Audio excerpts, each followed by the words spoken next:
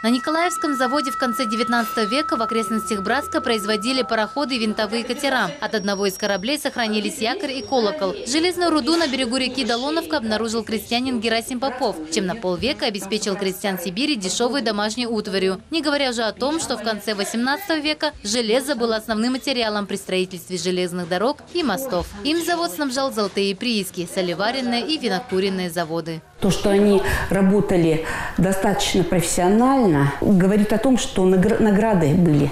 Награды на различных выставках. Э, здесь вот показаны выставки, например, в Иркутске, в Париже.